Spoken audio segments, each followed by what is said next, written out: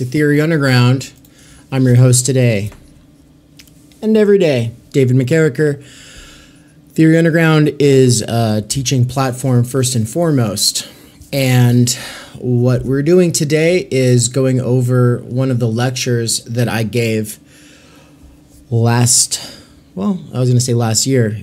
Not quite. It was still this year, summer of 2023. Let me pull it up here. So we go into the course. This is the so right now it says Being and Time division 2, but division 1 is also in there. It's included for people who sign up for division 2.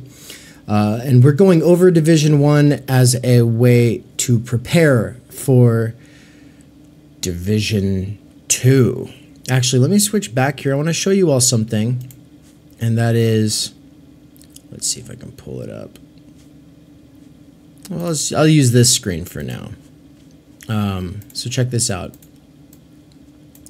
I know it's kind of confusing. You see a bunch of other stuff over there. But what I want to show you, that stuff doesn't matter. The like just look at this. So on December 6th was the one year anniversary of Theory Underground, and I announced a bunch of upcoming courses. Well, this this is the one that we're doing today. Wait, where'd it go? Being time, where'd it go? Oh my god. There we go. Feast your eyes. Um, it's going to be held on Saturdays, 9 a.m. LA, 12 p.m. New York City, 6 p.m. Freiburg. So coming up really quick here. It begins on January 6th. And uh, the reason I'm playing these Division 1 lectures is to kind of force myself to go over the material again, get excited about it. Uh, but I'm also hoping some other people get excited about it. Um, so far, at least two people who were doing other stuff with Theory Underground recently dived into this course. And so, or like what I mean is like they're going through the backlog of lectures from Division One, getting prepared for Division Two, which is really exciting. So, um, yeah, check it out. Uh, the other ones are currently available on the channel. You can just go look at the backlog of things that have been live streamed on this channel. But with that, we're going to get it started here because if uh, I don't know, like if things go well, maybe we'll play two two previous lectures. I don't know. I, I would be happy to stream all day long, but uh, we'll see. We'll see what the day brings.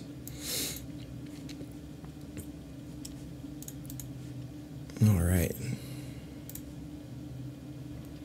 What's up, everybody, and welcome to the channel. This is David McCarricker. That's who I am. And the channel is Theory Underground. So for those who've never been here before, we know, we know, we know. Speed it up there. For the last four months of its development, welcome. For those who've been around for years, seeing its development before it had this new name and approach, welcome. Um, today is a very special day. I am a sort of nervous wreck because of what I have before us. Today, I am talking about the announcement of this course. Let me make this thumbnail larger. Being and Time. Oh, I see what was going on. That's the wrong lecture.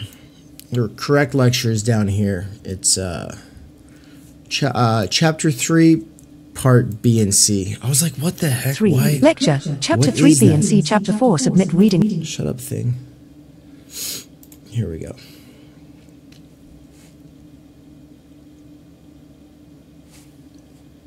There we go. Welcome everybody to week technically week 4. This is chapter 3 parts B and C.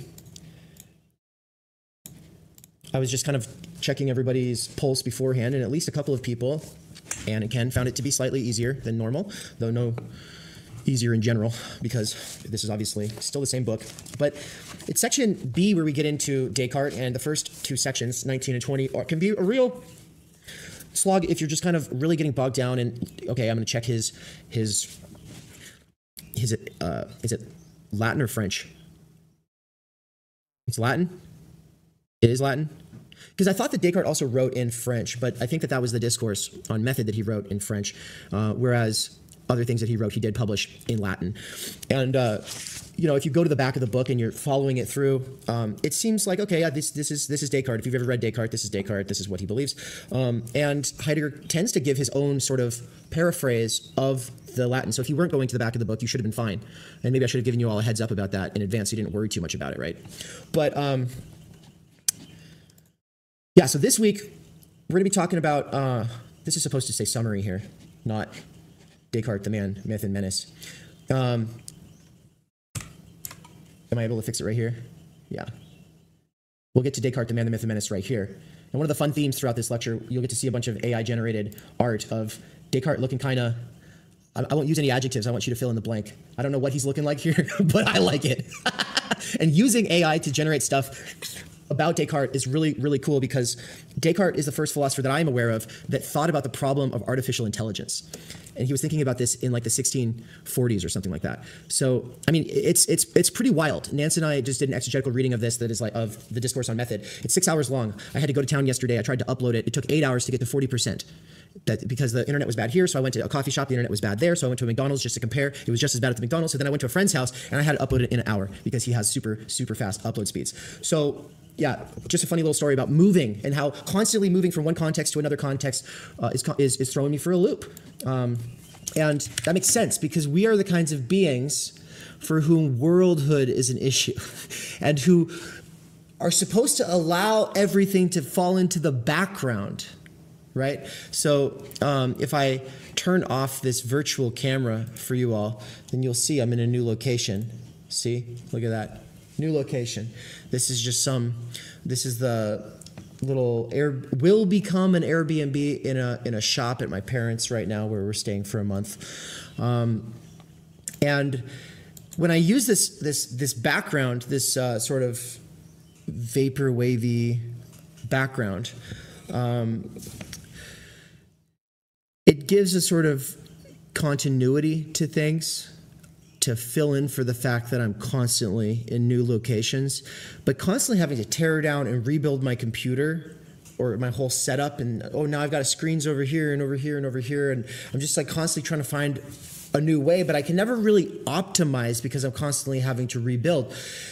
This is, should be illustrative, I think, of what it is to be a Dasein what it is to participate in this kind of life called Dasein. And that is that we we want to figure out okay where do these things go? Where, where are they usefully ready to hand? So that i don't have to keep thinking about them. So that they can fade into the background of my circumspective dealings.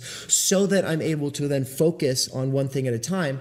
But instead if i'm constantly having to oh i have to uninstall and reinstall zoom. Now i have to mess with the camera settings. And now i have to oh my god it's it's a it's a it's a nightmare. And so on the one side, I'm like theorizing time energy while never having any, which is kind of why I theorize it. Um, and on the other side, we're I'm t- teaching about Dasein and worldhood and circumspective dealings, and I'm like, yeah, I'm feeling that every moment of the day here. Um, but with that said, uh, today should be a pretty fun one. It's going to be uh, a lot more quote heavy, I think, than maybe we tend to get. And I think it's because reading a quote through, having someone else read it, and then me kind of parsing it out and doing an exegetical of that section. Um, I, have been thinking a lot about the function of that in terms of reading uh, this work. And I think it's just probably one of the most useful things. If the person who's exegetically unpacking it is focused on trying to make it uh, to, to, to make it more relatable, to make it more intuitive, to make it more, oh, okay, yeah, put it in different ways. And so that's what I'm challenging myself to do a little bit more here. But basically, we'll move through sections B and C today. We'll be talking about Descartes as the father of modernity, or, or also as the man, the myth, and the menace. Um, we'll be talking about presence ontology that is to say, ontology that prioritizes not just what is immediately present, but that which is immediately present that can be repeated. Right? So this is the uh, the hard on that modern science has for repeatability. Uh, math as a guarantor of knowledge. If you ever grew up with people saying, "Well, it's just true. It's just the way it is. Two plus two equals four," and then they go, "God made God wrote the Bible. That's our." You know, they, they always like make these sort of analogies to math, and it's just like it just is what it is. Two plus two equals four. A equals A is what it is, and it's like this sort of, oh yeah, it's obvious, it's clear, it's distinct, um, and therefore that should be like the primary criterion for what truth is, right? Because we borrow this analogy for what truth is from the successes of math. Um, we'll, we'll get into that a little bit and show that math is present in hand. Um, it's not the primary mode of existence that we take up with things. Um, we'll talk about how this idea that both Descartes through Nietzsche have of uh, we invest as subjects we invest objects with values or value which could be called subjectivism right? Or you could be like someone who likes to take the the objective viewpoint on everything but then whenever it comes to matters of value you always go oh yeah well but that's subjective right? That is in part what's being combated here. That mindset, that belief system, those assumptions could be said to be nihilism. And for someone like Heidegger, it's nihilism in its purest. This idea that it's just us, our, we're the beings that make things meaningful, but that's just in our heads. That's just in our feelings. That's not reality in this bigger sense. We'll get into uh, after that, we'll get into section C, Dasein's world. We'll get into basically the difference between measurement and meaningful distance. Right? I love that section because it's kind of priming us for what he's going to do with time, which is really important, I think. Um, disseverance and directionality, I hope to make that a little bit clearer if I understand them correctly. I, I think I do, and so I hope I'll be able to make it a little bit more relatable. Um, if you listen to the Hubert Dreyfus lecture on this one in particular, um, he spends the whole lecture kind of like the bumbling old man professor, you know, who's like really sweet, but also kind of confused and tripping up and problematizing and thinking out loud, which Karl Jaspers in The Idea of the University says explicitly seeing a professor do that is itself, it helps us learn how to think. It helps us learn how to research. So when he's doing that, um, it's not just, oh, he's bumbling around. No, he's actually showing you his process of hystericizing himself. He's like, I think I understand this, but I don't. Because because I think Heidegger doesn't understand this, because I think Heidegger's confused here, because Heidegger says this, but then look what he also says. And so I and so but from my standpoint, I actually am not so sure it's as confusing as uh, Dreyfus makes it out to be. He's got this weird thing about changing words in the book. Like he wants to make every every instance of dealing say coping, and then in that same lecture from 2007.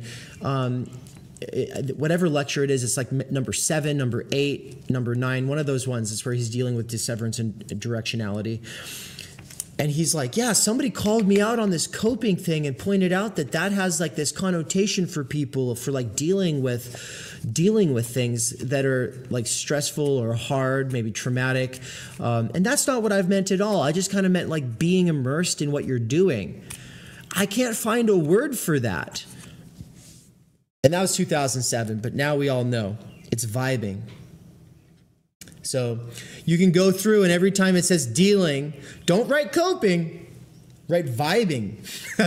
and like I said last time, grooving, which was the 1960s version of vibing, but it's the same thing. Um, and then last question, we'll kind of touch on is this idealism or is this subjectivism? Why would it be versus why wouldn't it be uh, versus, uh, or, you know, then we have to basically think, does it matter? And the quick and dirty is it doesn't have to be. It really could be, but it doesn't have to be. And from the Heideggerian standpoint, it's not. And Richard Capobianco is putting out scholarly articles every few months for the last several years that I've been following him on academia.com, arguing for Heidegger's realism, that he is a realist, blah, blah, blah. Um, and it's a really interesting sort of debate this realism versus non realism or anti realism um, because it's supercharged politically by people who care about material things and have this material analysis. But a lot of the academics who sit there and, and create different categories um, and then come up with different kinds of materialism or different kinds of anti-realism or different kinds of not, it, they, they come up with all these different ways of conceptualizing it so that they can or can't be um, a realist or an idealist or whatever. Um, and those people are not in dialogue usually with the Marxist types of people who care so much about their specific way of conceptualizing materiality. So that's basically what I consider to be a really big problem uh, uh with a lot of miscommunication because all these academics either are ignorant of why people care about these terms as in they're supercharged politically and religiously, um, or or maybe they get their jouissance from pissing off Marxists. It's possible, and that's fine too. That's a, a valid way to go about it. But um, I'm going to basically show you all a table. I know I haven't been showing a lot of tables. Some people probably love tables, and so check it out. Section B versus Section C. We've got actually in the very top of uh, one of the pages here. I think it's like one uh,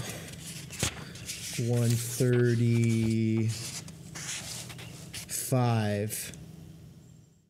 Yeah.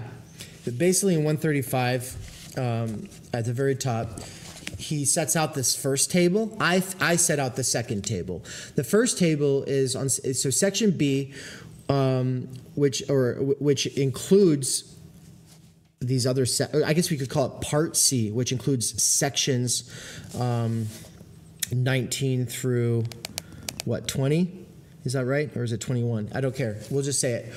You got world as spatiality, and then he's going to go into the foundations of this definition, and then there's going to be a hermeneutical discussion of the foundations of this definition of spatiality. So that's really what he's got to do in in uh, part B. And then part C, let's go ahead and say part instead of section here. Go back to presentation mode.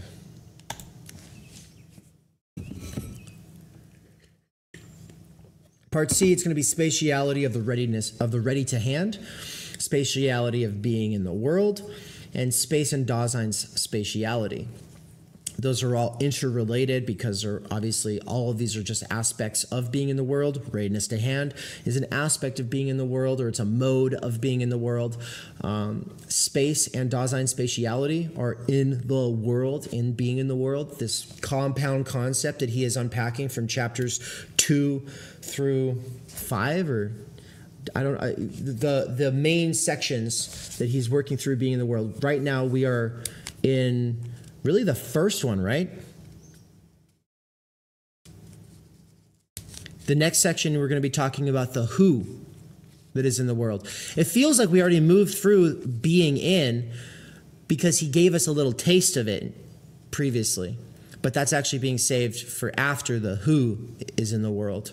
So right now, we're just talking about the spatiality of the world. The spatiality of the world, the who in the world, which is going to be not Dasein, but Das Man, Dasein finds itself in the world as part of a who, which is Das Man, the, the social order, the big other, the law, the norms, all of those things. So that's going to be the next chapter. That's really exciting because it's honestly the part that people read the most. In the same way that if you're reading Das Kapital, there's either the section on the working day, the section on primitive uh, accumulation, or the section on like the vampire analogy. And those are the three most cited parts of that book, usually read in excerpt form in college classrooms or whatever. Well, a lot of the juiciest, most uh, relatable excerpts are going to be in the, in the next chapter. So I would uh, I would go somewhere, set yourself up with like a nice big six hour window so you can take your time reading a couple pages, go do some stretches, come back, take a couple notes, stare off into space, not stressing because you found some leisure time that you've secured for yourself away from devices, go back to reading. You know, you might want to do one or two of those. And if you can't do it, I understand that is the problem, but this will be the chapter where you probably find the most pleasure in doing that out of the whole book, maybe, besides the one on death in Division 2. So basically, though, I set it up this way because it's nice to see these as juxtaposed. On the one side, you got world as spatiality. On the other side, spatiality of the ready to hand. On the one side, you got foundations of this definition versus spatiality of being in the world. The foundations of the definition of world as spatiality, as res corporea, as extensio is the Cartesian uh, assumption, way of seeing things, and problem for Heidegger. That is is fundamentally juxtaposed to spatiality of being in the world, which we've kind of already gotten a taste of, haven't we? Because we've gotten into circumspective dealings and readiness to hand, and how it takes breakdowns in the ready to hand for something to become uh, unready to hand, and only at the point that it is unready to hand might we then analyze it in a present at hand mode, right? So, what is the spatiality of that which comes prior to that present at hand form of analysis?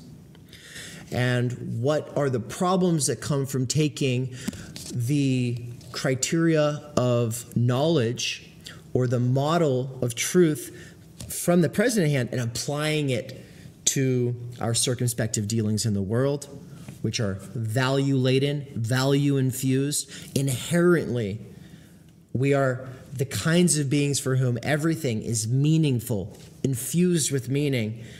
And of course, that can be a bunch of bullshit, but it wouldn't be able to be bullshit if it wasn't for the fact that we were, in the first case, those kinds of beings for whom a meaningful understanding is key.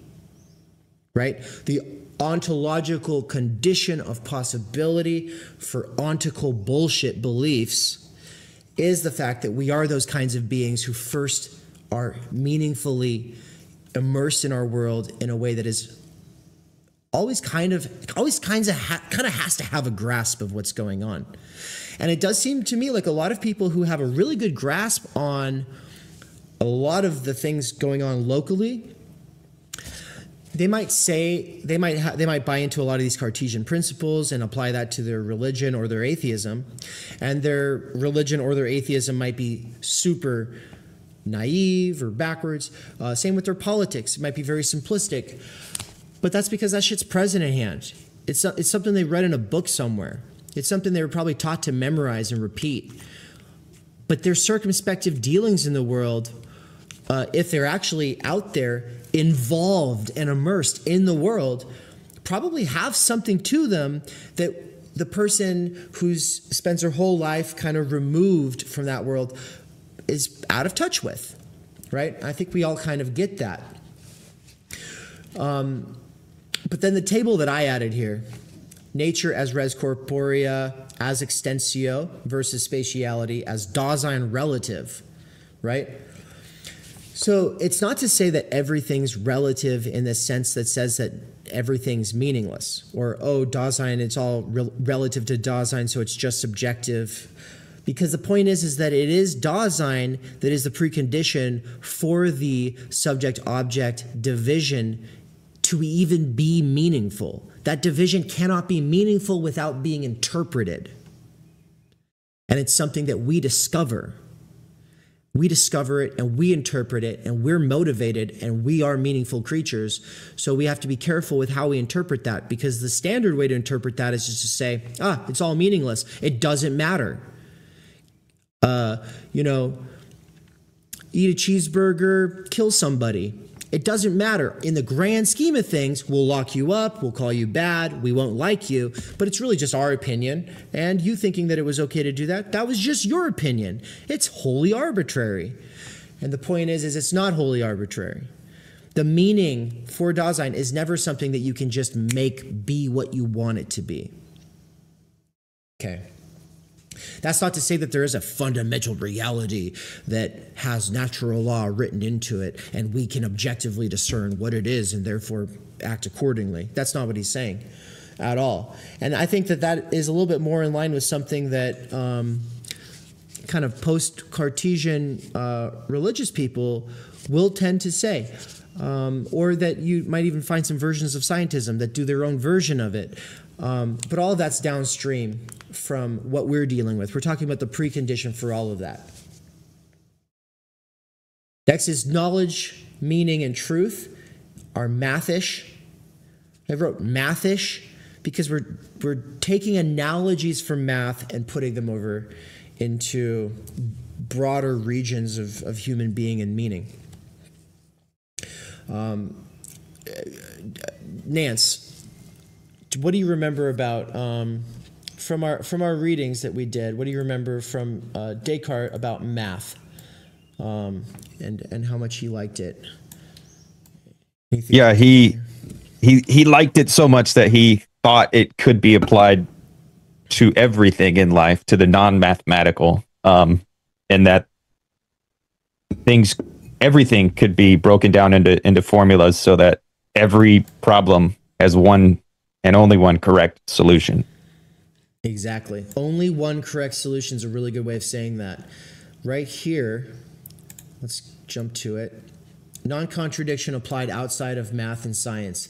He says, I did not have enough presumption to hope to succeed better than the others, and when I noticed how many different opinions learned men may hold on the same subject, despite the fact that no one that no more than one of them can ever be right, I resolved to consider almost all as false, any opinion which was merely plausible. So basically, unless unless it was indisputable and it was just merely plausible, his his radical doubt approach was to just assume if it just seems plausible, it must be false. Because in any situation where there's a lot of different opinions, only one opinion can be true. And of course, now we all have this very uh, useful metaphor of the elephant, and you got all the blind people holding onto different parts of the elephant and trying to communicate about it. Well, are any of them wrong? Is the person holding onto the elephant's tail wrong as as a he describes that tail or as you got someone like on the foot? Oh i'm describing the foot. Is that person wrong? It's all part of this bigger thing. Um, and so i don't know. Descartes didn't have to deal with that being a sort of common sense thing that we have recourse to now um, and really, I don't know if we would have recourse to that idea the same way that we do now, if not for Heidegger's influence on the uh, the new left really. The those sort of post post left, new left, Nietzschean Heideggerian influenced postmodern, post structuralist, existentialist types of thinkers. So this idea that there's only one solution though is very important to him. Another quote, he says, In this I trust that I shall not appear too vain, considering that there is only one true solution to a given problem, and whoever finds it knows all that anyone can know about it. This is like when we talk about reductionism, I mean, that's the essence of it, really. You get down to the fundamental thing, and now you know everything, right? So, really quick, I just want to see does, does, do I have anything here? No, nothing about geometry. But basically, what he wanted to do was to take the best of geometry, the best of algebra, and the best of logic, and then correct them all against one another to come to some general principles that he could apply to everything else in life. And he thought that by doing so, he would be able to uh, save the world. I mean, really, I'm going to actually just read that quote first. Maybe I'll have Nance read it. Uh, devices. Let's just do a word search for devices. Right here. Um, can I zoom in? Yeah, right.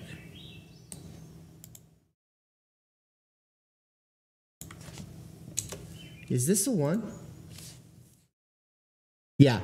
Okay. Could you read that, Nance? For they have satisfied me that it is possible to reach knowledge that will be of much utility in this life, and that instead of the speculative philosophy now taught in the schools, we can find a practical one, by which, knowing the nature and behavior of fire, water, air, stars, the heavens, and all other bodies which surround us, as well as we now understand the different skills of our workers, we can employ these entities for all the purposes for which they are suited, and so make ourselves masters and possessors of nature. This would not only be desirable in bringing about the invention of an infinity of devices to enable us to enjoy the fruits of agriculture and all the wealth of the earth without labor, but even more so in conserving health, the principle of good, and the basis of all other goods in this life. Wonderful. And I, I mean, part of our conversation we were having through the exegetical reading of the discourse on method was obviously um, we are all living Descartes' dream right now. We have an infinity of devices and labor saving devices. Um, sadly, those labor de- saving devices haven't actually saved most people from that much labor. But yeah, it's wonderful. Did Christopher just get here? Oh, Anne, were you able to admit him? Oh, thank you so much. But there is a way of teaching this where you kind of make him out to be a menace in this sort of cosmic sense. Like, uh, like Descartes responsible for everything bad. Descartes the villain of the story. Descartes is the his thinking is like sort of the essence of empire, colonialism, dominion, um, expropriation, exploitation, oppression. Uh, you could even go so far as saying slavery. You could say that he his ideas are the real sort of uh, father, the real father of capitalism is not Adam Smith or Ricardo or any of that. You could say it's Descartes, right? Now, I think that that's not exactly fair. And we'll get into why. Because I'm going to try to do a little bit of a defense of him and his world, because I don't think we should get too carried away. But just to kind of give people a sense here of the ecological and feminist critiques of this modern science movement that wanted to create an infinity of devices and labor saving things and free us up from dominion of the dominion of nature over us to turn the tables back onto nature. Because we were afraid of nature. We were we were uh, we didn't quite have it figured out yet right? Like right now you go camping if a grizzly bear is coming around they'll come and they'll move that grizzly bear somewhere else they pretty much stay on top of it um, like I guess North Idaho, where I'm currently at, grizzly bears have been sighted a couple of times, and but they move. They they're on top of it. They they they they take them to some other place that's very far away. Um, they don't kill them, obviously, but this uh, this just kind of speaks to the fact that we really are the Lord, the masters and possessors of nature now. We're not even as we we go camping. We're not even afraid of grizzly bears because they're so rare, right? Um, is any have any of you ever like really been afraid of a drought or of a famine? Nance lives in Phoenix, so of course.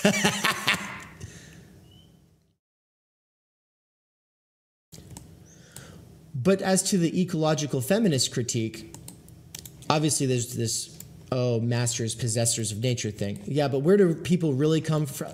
It's his homie Francis Bacon Francis Bacon supposedly said, My only earthly wish is to stretch the deplorably narrow limits of man's dominion. So he's saying man's dominion over the earth is not big enough, right? To stretch the deplorably narrow limits of man's dominion over the universe to their promised bounds. Nature will be bound into service, hounded in her wanderings, and put on the rack and tortured for her secrets. We got Ramsay Bolton over here.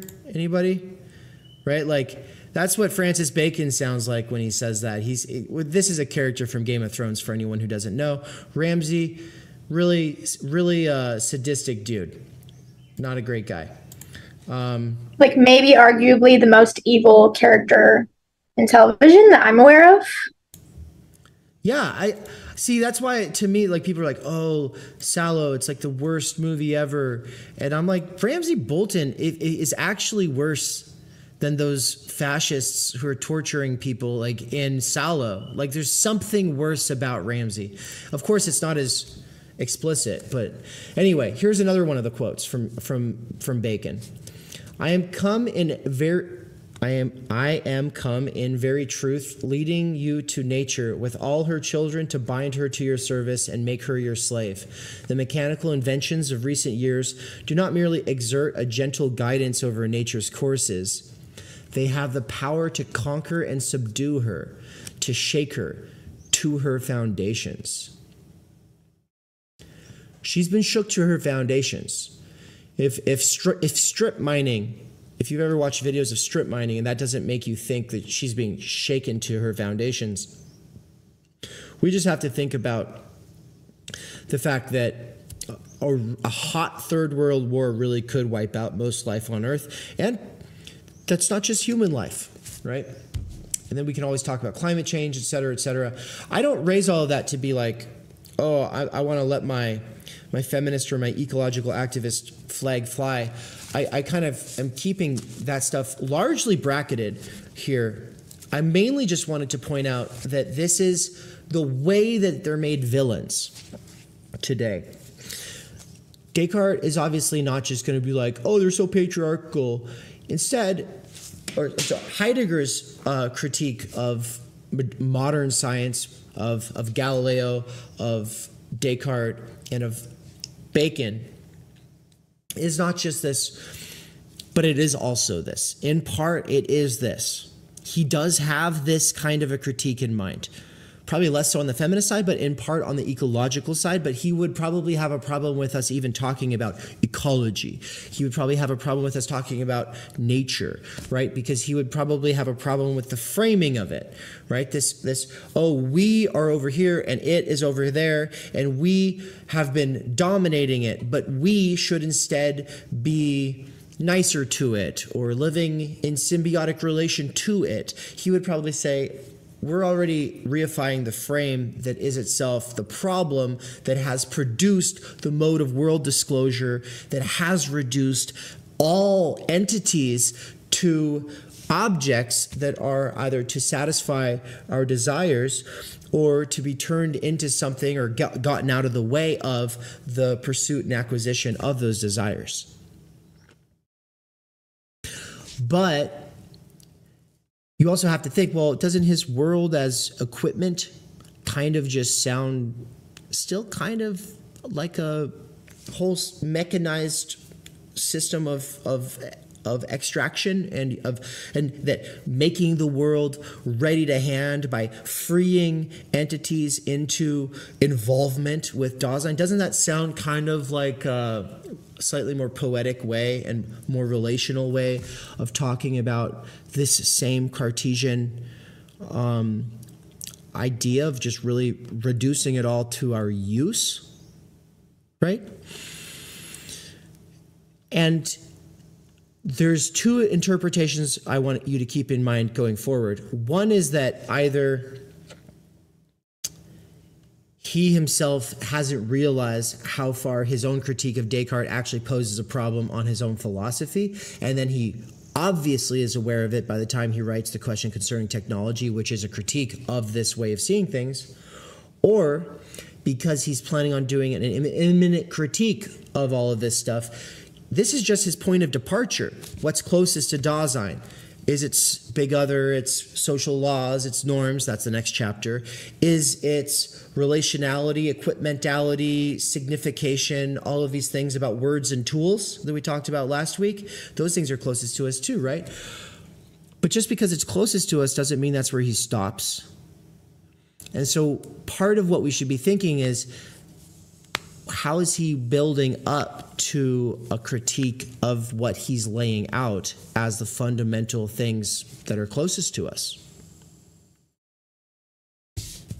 And does he succeed? Obviously, the third division of being and time never got written. You could say that he realized he couldn't pull off the immanent critique uh, as well as he wanted to, and then he spent the rest of his uh, well, then he has two other periods of philosophizing. One which is saying, you know what, I've been a sort of agnostic, critical thinker for a long time, but now I'm going to go into the Nazi Party very gung ho and try to convince everybody they just need to free themselves into this involvement, which he actually uses that language. Um, yeah, he says that bourgeois freedom wants freedom from oppression, but real freedom is freedom to enlist in the Third Reich. Like he actually says that in one of his lectures in 1933. We've got the receipts. Nance and I have gone over it. If anybody wants the video where we go over that stuff, I can share it with you. It is also on the forum. Um, but that's kind of, I like I said, we've been mostly bracketing that stuff out as well. Um, but I just mainly want you to keep in mind that he is a critic of this. Later, after his Nazi period, he is a critic of this. But he also might have been attempting to be a critic of it in Being and Time, but then he realized oh i've seen i've seen i've seen now i understand i'm enlightened but also we need to win a war which is why we have to double down on nihilism. We need to be more extreme in our nihilism than anyone else because otherwise we're not going to win this war so he just makes a decision and at the time decisionism was very strong uh, it was like this whole ideology of if you haven't made a decision and committed yourself to that decision then you're nothing right uh, but before we turn back to the slides, I just want to point out that these two quotes are supposedly not real. Um, there's a lot of quotes like that. There's a lot of these two quotes by Bacon about putting nature on the rack and all of this. There are so many articles written critiquing modern science, and they kind of use this as their point of departure. And I've seen professors lecturing on it where they pull this in for an ecological or feminist critique. But I can't track down the source of this quote. And I found a, a, website that was saying we can't track it down, and other people being like, "Yeah, I can't track it down either." I read everything I could get my hands on to try to find this. So, uh, let me know if you find anything, everybody. Definitely share it in the forum if you find the real quote. But for the time being, I think that whether that's real or not doesn't really matter in a funny way. That's the funny thing about myth a myth doesn't have to be true in this sort of limited sense to get at some kind of a deeper truth. What we have here is, well, either Bacon actually said it, or this is basically how they felt. Because you can definitely read it between the lines of everything they write. So either he didn't either he came out and said it or someone put those words in his mouth because they were like, well, he really does mean this. Um, and that's illustrative for one reason. On the, on the one side here, we have this is kind of what Heidegger's worried about. And on the other side, this is how they become this sort of like this myth that is bigger than themselves, right? where we blame Descartes for all of this stuff. When in reality, is it really true that a philosopher has to write it down and then 150 years of cultural trickle down digestion of academics teaching this stuff and word getting around and autodidacts reading and talking about it for the ideas to become internalized in everybody so that they all become second nature? Is that really how it works? Or is it that everybody in those times was feeling this way. And Descartes was tuned into the moment of his times, and he was able to give it a more rigorous defense than anyone else was. Right? So when you, whenever people teach philosophy 101 it does seem like they're acting like oh descartes writes it everybody else learns it over time now when we read descartes so many of the things that he said feel like oh someone would say that today but maybe Maybe it's always the fact that there's a part of everyone Native Americans, Chinese people, Africa, anyone has a little bit of Descartes in them, but it's just part of the human soul. We just think rationally. We're all rational in, in some sense. He just fucking nailed it, right? He nailed it with his method. Um, so I don't know. Can we assign responsibility to him or not? So I want to put all that into question and then read the quote from page 128. Descartes' conception of the world is ontologically defective, but he's not just wrong. We have to show that his interpretation and the foundations on which it is based have led him to pass over both the phenomenon of the world and the being of those entities within the world, which are proximally ready to hand. So his context, he's writing in uh, in the 16 between like 1620 and 1650 is when he's doing all of his writing, which is roughly 100 years after the Protestant Reformation, which was itself about 60 years after the invention of the printing press. So the printing press creates the industry for books. And then Descartes was writing his meditations. He spent his whole life kind of preparing to write his meditations. He finally writes them, and he feels like he's made some genuine discoveries and he's solved the problem between this division, this division between uh, church and state, or church and science. He thinks he solved it. Actually, yeah, so I guess a state would be on the church side, science is on the other side, right? Um, and he's he's he thinks he's found like the philosopher's stone with his meditations and he really wants to get them out there. But then he spends a few years not publishing them really hesitating not sure what to do. And the reason is because galileo galilei had been taken in and forced to recant by the inquisition. Descartes was like well it's funny the part where he says this in the in the discourse on method. He says, "You know, I've been thinking about publishing this, but then somebody that I know who believes something about physics uh, got in a lot of trouble for that belief, and I'm not saying I believed what he believed, but I'm just saying I didn't see that it went against the church, and so I thought." It wouldn't be wrong if I did believe it, but now that I know it is wrong to believe it, I'm kind of worried because what other what other things might I believe that could get me in a lot of trouble? Right? Cancel culture before cancel culture, right? And he's just like, I don't know what I can talk about anymore because, yeah, I see that this person is getting canceled for saying something I, I would never say such a thing. But I believe other things that I think are okay, and maybe they're not okay. I don't know. I don't want to get hanged, drawn, and quartered. I don't want to get put in the stockade. I don't want to be tarred and feathered. I don't want to be put on the rack and tortured. And so that's the situation he's writing in under extreme persecution. And so he takes the discourse on method and writes it in French. It's an appeal to the people, right? He's not making an appeal to the established academics. He's, he's going straight underground. He's saying, I'm just going to speak the vulgar tongue and tell everybody what I achieved in my meditations and tell them all, I'm sorry, I will not be able to publish that shit while I'm alive because I'm scared. So what he's hoping to do with the med- with his uh, discourse on method is show people, look, I'm nice. I'm not out to kill God. Come on, it's all good you should let scientists do their thing, and scientists can have a, a, a, sort of symbiotic relation with the church, and we'll all stay in our lanes. And he, he thinks that he establishes that by creating a strict, strict division between things of mind and spirit, and on the other hand, things of nature. And basically, if scientists can study the things of nature, Leave it to the theologians and priests to speak on behalf of the things of spirit and mind, and then we can have our lanes.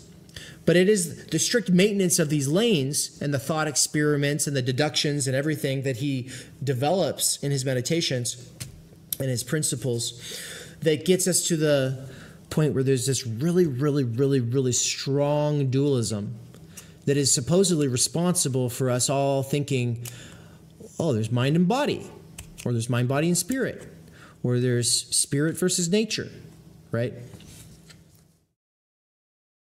So I have that, that's the man's context.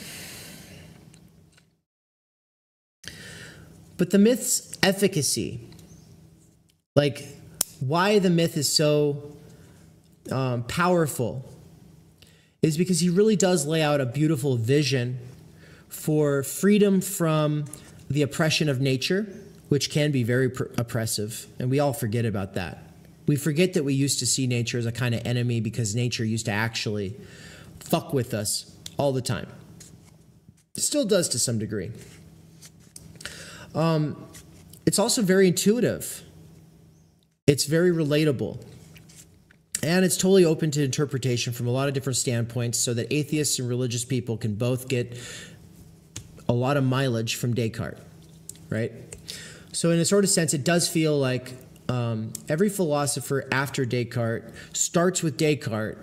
Then they might go back to the classics and medievals, or they might just stay after Descartes through Kant. That's their period. Maybe they're after Kant or whatever. But the whole the whole thing is usually through the meditations is where people start. And the meditations basically says, uh, here's how to do philosophy for real. We start with radical doubt, where we clear away all preconceptions that are doubtable whatsoever, and then we try to get down to the most essential thing and build up from there, part by part, just like you do in math that's going to run fundamentally contrary to the hermeneutical approach that says we are always already in the world.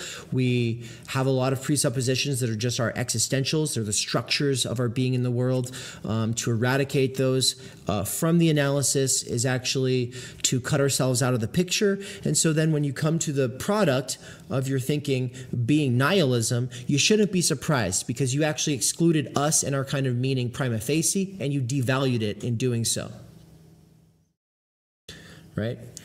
The focus on presence and repeatability makes us feel that any anyone or anything that's finite, that's here for a while and then goes away and it's gone afterwards, that's less valuable, that's less meaningful, it's less repeatable, it's not real truth, it's not the real good. This is why math and those aspects of the entities in the world that are unchanging gets taken to be this oh this amazing like holy grail of all knowledge. Of course it, it gives us a kind of knowledge which is an essential grasp that renders things useful to us right? Helps us break them down into their parts right? Like minecraft. Descartes is minecraft world. So the menace though the menace of presence ontology I have that it's a menace against the church. Obviously, it's a menace against the church because if he said if he argues we can have this strict division so long as we remember that God's existence is the only guarantor of anything we perceive, much less knowledge. He creates that division. He argues we need God to back up all of the other substances. But the thing is, is any anyone else who's kind of coming later who goes, hmm, well, I don't know that I need God to do that. And I can just take the things of nature as the things that they are, and I don't need to listen to these priests. Um, obviously, that's a problem for the church. Descartes makes it really easy to do that. He is supposedly devout, but there's also people who think, no, he was, he was, uh, it was always a conniving sort of project, always looking to undermine the church. I'm, I don't care, right? But that's why he is considered a menace against the church I'm saying that he's a menace against science because I do believe that it is people usually reading his meditations in a philosophy class in their undergrad um, that kind of confirms a lot of things, a lot of biases, kind of solidifies a whole approach to thinking and doing philosophy that is scientistic. And scientism is bad for science, right? Scientism is treating um, all knowledge, all truth, all goodness as um, reducible to that which can be derived, ascertained, and uh, verified scientifically, um, or else it's just not true. It's just not good. It's just incorrect. It's not real knowledge. Right? That's scientism. Um, scientism obviously develops rigorous ways of talking about specific objects, right? like uh, geometry's specific object is spatial entities, right? Uh, well, it's really good at talking about those things. It's not really good about talking about other things. Have you ever tried to use algebra to make food? I mean, maybe you could, or sorry, maybe you could actually with algebra, but like, have you ever tried to use geometry? I don't know, to some degree, maybe ratios, but the basic point is, is like, it's, it's, you can only use uh, concepts, formulas, and rules from one science or math in a sort of analogous way when you're dealing with some other kind of object that it wasn't developed for. And then you're usually forcing the issue. You're usually forcing your ideas onto something. And uh, the, the goal of philosophy from Aristotle through Descartes is not to be forcing, right? Uh, obviously, the idea of dialectics is also to not be forcing. You start with the phenomenon, you start with the, the notion, and you unfold it, but you're not trying to force ideas from outside onto it. That's at least the ideal. And obviously, scientism runs against that ideal. So the presence of so the menace of presence ontology also is a menace of modern nihilism and capitalist rationalization. I already touched on those enough. I feel like for now, and we can come back to it in the Q and A if you want me to expand on it. Uh, presence ontology. I've already said it a few different ways. I'm I'm happy for the time being, and we can always come back to it. Look at this funny image of Descartes. It looks like he's in the uh, the upside down from Stranger Things. so, uh, will somebody volunteer to read? Who? So maybe raise your hand, and then um, we'll go to page one twenty seven. Ken has it. The quote is the second paragraph. This paragraph is the summary of sections 19 and 20, which is basically, now it's not the completion of, of those sections. Well, actually, no, it is. Wait, hold on. It's from the the Ontological. Yes, sir. So basically, let me say one thing. This is the summary of sections 19 and 20. Section 21 is a hermeneutical discussion of 19 and 20, the foundations of that worldview, which is Cartesianism. But this quote that you're about to read is the summary of sections 19 and 20. So it's a really wonderful quote. You should have lots of lines beside it because if you get confused in sections 19 and 20, this is really where he quilts everything. Go for it, Ken. Thus, the ontological grounds for defining the world as res extensa have been made plain. They lie in the idea of substantiality, which not only remains unclarified in the meaning of its being, but gets passed off as something incapable of clarification, and gets represented indirectly by a way of whatever substantial property belongs to the most preeminently to the particular substance. Moreover, in the way of defining substance through some substantial entity, lies the reason why the term substance is used in two ways. What is here intended as is substantiality, and it gets understood in terms of characteristics of substance, a characteristic which itself an entity. Because something ontical is made to underline the ontological, the expression substantia functions sometimes with a signification which is ontological, sometimes with one, with, with one which is ontical, but mostly with one which is hazily ontico ontological. Behind this slight difference of signification, however, there lies a hidden failure to master the basic problem of being.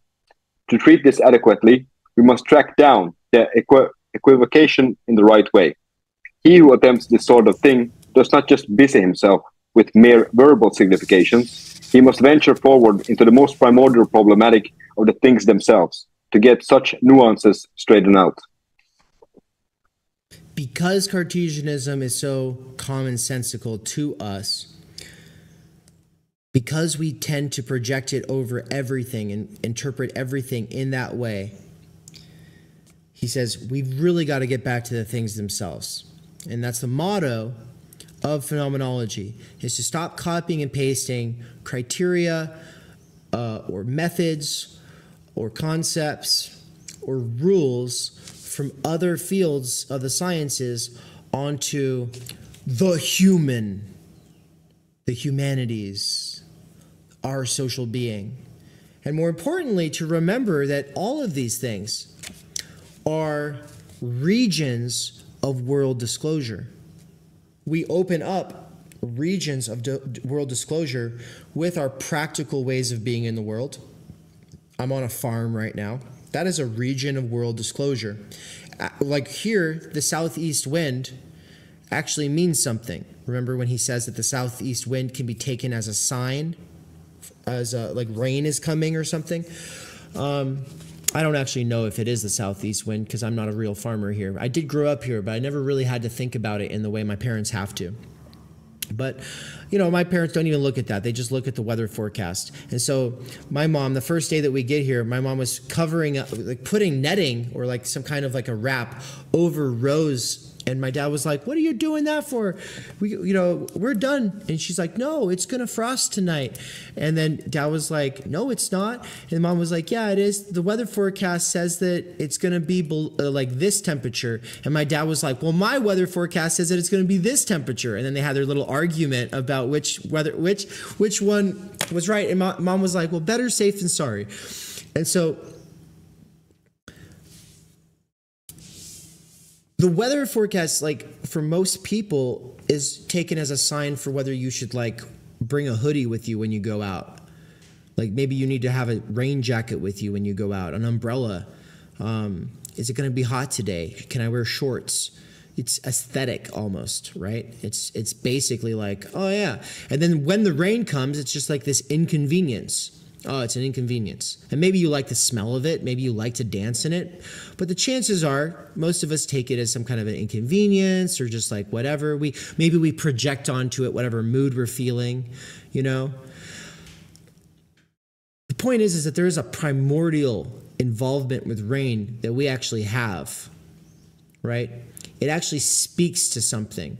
And if you are involved in bringing things into existence that sustain us, that we all require, that is farming or some kind of tending to the the fruit of the trees or what have you, you know, the fruit trees.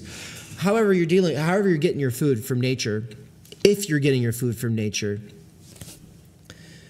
even if you're using a weather forecast and it's not just the south, southeast wind, rain has a positive signification. It's bringing life right? Like if you don't have rain, your food doesn't grow as well, right? We go into the grocery store and we look at the shelf and go, eh, doesn't look ripe enough. We go, eh, there's, eh, whatever. Uh, and it's just like, it's just up to our fancy. It just becomes a consumer choice. Whereas when you're out here, I don't know, there's something more real about it, right? And so at the so I, I say all of this because this is this is kind of what he's getting at. What he he wants to get at this primordial problematic of the things themselves and to get the nuances straightened out. The problem with substance is that it's a very confused term for Descartes. He's using it in an ontico ontological way. He's taking the ontic to be ontological. Um, that's really confusing to me. I always trip up and get confused about it. But the basic point is that he's taking the way things are as their conditions of possibility, right? And it's, he's limiting the possible to the actual. We'll just kind of leave it at that for now and then dig into this definition of substance a little bit on pages 125 and 126. So if you have the book in front of you, that's fantastic. I don't share giant quotes on my slides anymore because I really, really, really do assume an audience of people who have the book. I really don't think you should be fucking around reading Being and Time if you don't have a physical copy of it. I'm, I don't know if I said that as clearly on syllabus day because I was kind of more relativistic about it, but it's just like you want to be able to get away from devices and just read it for a few pages, and it's it's going to pay off. Page 125. Uh, first, it just begins as section 20. Substantiality is the idea of being to which the ontological characterization of the res extensa harks back. So, presence ontology that's, that thinks that things being extended in space the uh, it, you know take away their secondary qualities of color and, and hardness or of motion or you just go with like the things that don't change about these entities under any situations and then that's the essence of it. And this is this idea of presence ontology harkens back to this idea of the res extensa and substantiality. So what is substantiality? Some latin. Is anybody fluent in latin and knows how to pronounce it in a way that makes it sound cool I'd let you read it, but I'm just going to go ahead and assume that you don't. And I'll read his basic paraphrase. By substance, we can understand nothing else than an entity which is in such a way that it needs no other entity in order to be. This idea of like self standing, self sufficient, totally isolatable, atomized, discrete entities being the only real kinds of entities that there are. Cutting out the fundamental relationality of all the things that are ecologically entwined, right? Cutting out the way that we are in the world, immersed in it meaningfully. Cutting all of that out up front it's not just for substances of physical things like this mug, this computer, that camera, but it's also for us, our bodies, which he separates radically from our minds, which he thinks live forever. The ego, the mind, the soul, all the same thing for him. And he thinks he's able to make that radical division because he actually has such a profound trust or faith in the idea that that which is most real about something is that which is unchanging and not dependent on anything else, which is, on the one hand, sort of a definition for the kind of being that God has. And now that kind of definition of being is being put onto all of the entities that we take to be most real. But then it's also taken onto ourselves, which is why he's like, look, I can imagine the world, I can imagine like the world ceasing to be. But I can't imagine not thinking, right? And if I were to be not thinking, I wouldn't be existing, right? So he's, and then he goes, well, that means that my mind is independent from my body. It must be because I can, it's self standing. It's, I don't know, it's this weird sort of thing that he does to get there. And of course, there's this big hermeneutical question of like, does he really mean any of the theological things that he says, or is this what he has to say so that he doesn't get hung, drawn, and quartered? Because he is writing under persecution. And so the Leo Strauss reading of this would mean that we have to take his leaps in logic because he's so deliberate and so careful. Anywhere where he makes an obvious leap that's going to confirm the biases of people who would kill him, we have to think, well, the esoteric way to read that is he's hoping the, the smartest readers are going to, you know, oh yeah, he's not an idiot. If he makes this huge leap at this one spot just to satisfy these people, then that's like Socrates saying, oh yes, well, to the gods then, like give them what is theirs, you know, absolutely, we must sacrifice. He's just saying the things that one says, right? Maybe.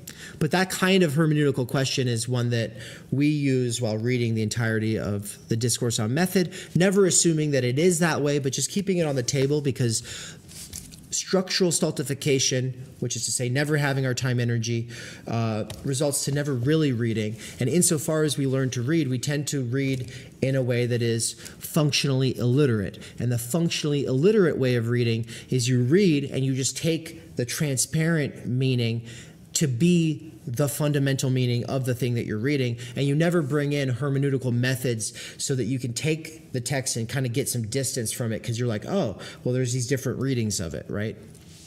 So i'll be sharing that link with you all later today uh, to the exegetical reading we did of the discourse on method. I finally got it uploaded. But yeah this idea of something being self-standing and independent that's the idea of substance. And it's also the idea, his idea of God, it's also his idea of the ego. And it's part of why he can say, well, we got nature over here. It's a bunch of self-standing entities. And then we got God over here and we got the mind over here. That's and he uses triangles as an example, right, from geometry. There's no such thing as a perfect triangle, but of course, we can derive them beyond any uh, shadow of a doubt. We can have clear and distinct conceptions of triangles, uh, and we'll never find one in nature. We'll never find it. We'll never find the perfect circle in nature. You find a, a band called the Perfect Circle, but that's in culture. You'll never actually find this anywhere but as a mental object. But it's so clear, it's so distinct, it must be more real than anything we actually observe through our senses. Because the kind of certainty we get from mathematics is his criterion for all things if they are to be true or judged bullshit.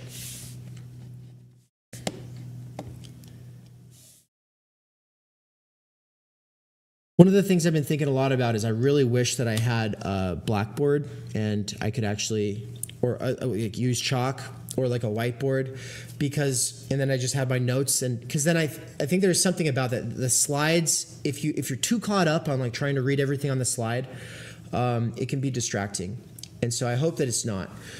But uh, I guess the last thing that was on the slide is world on a platter. He really just wants the world to be served up on a platter by science. He thinks he thinks that that's ultimately the goal here. And maybe he's not wrong. All right, we don't know. Maybe he's not wrong. Heidegger thinks he's wrong though. So we're going to read the last paragraph of 128. Uh, Christopher, you want to read the last paragraph of 128? And while you get sure. there, while you get there, I'm going to say a couple of things. Math is the guarantor of knowledge.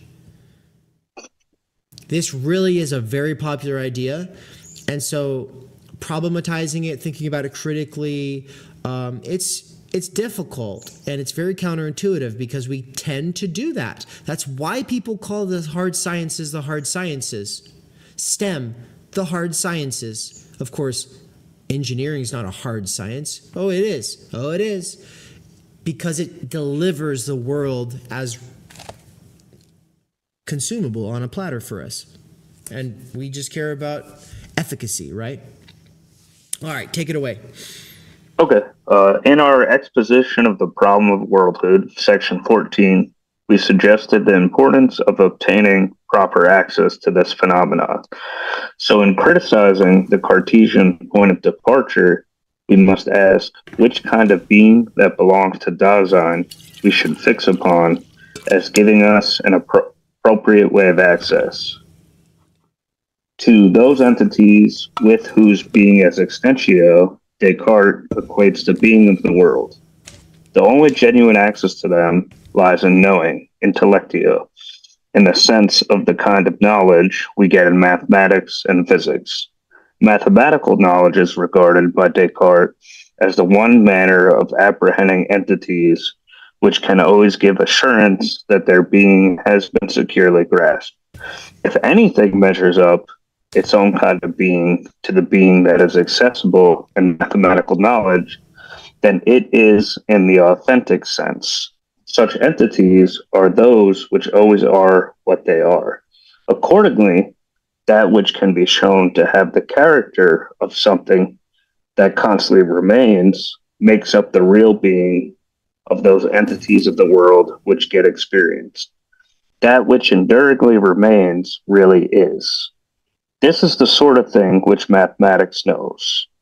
That which is accessible is an entity through mathematics makes up its being. That's perfect. That's the. That, that's okay. good. That's good. Thank you. Tight, tight, tight, yeah. So this is really cool. If you who watched the uh, the conversations that I did with Nick, who's currently not present. Yeah, Nance, you remember?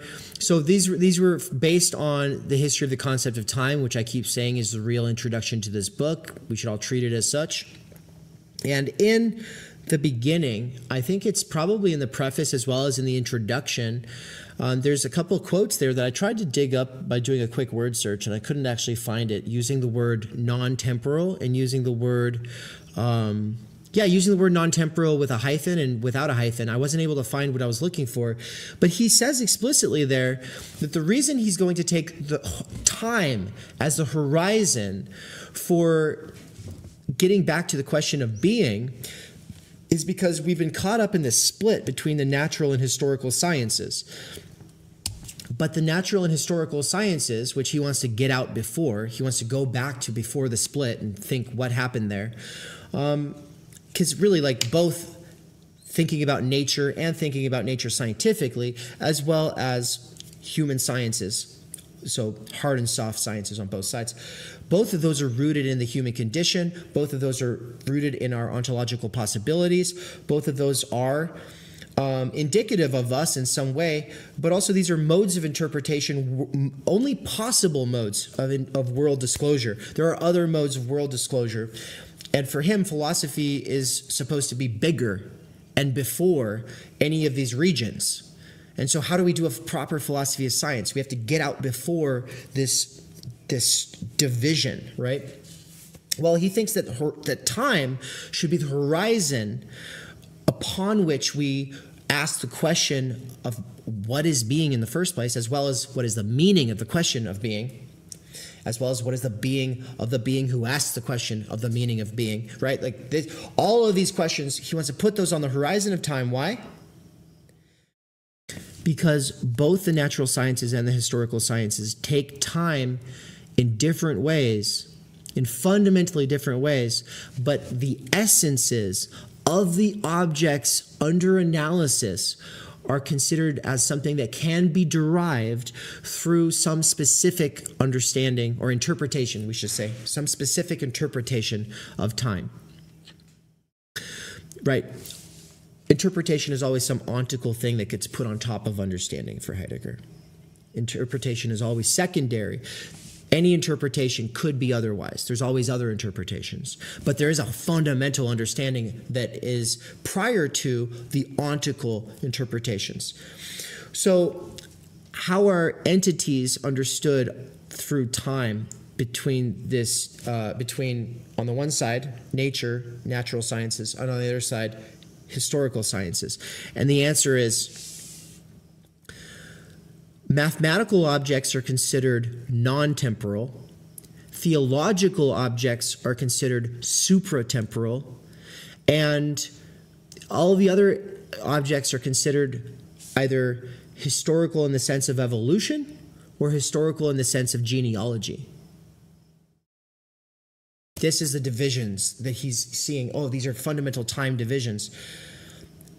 But he says that non temporal entities, these are what math deals with at its finest non temporal. That's a problem if we are fundamentally temporal beings. That is a problem if we are the beings for whom temporality is an issue for us.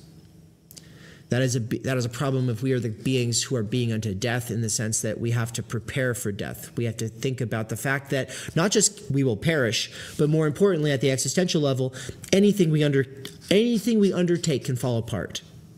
That's existential death. Anything we undertake can fall apart. Our ultimate purpose on this earth could fall apart. Everything I've committed my life to could fall apart.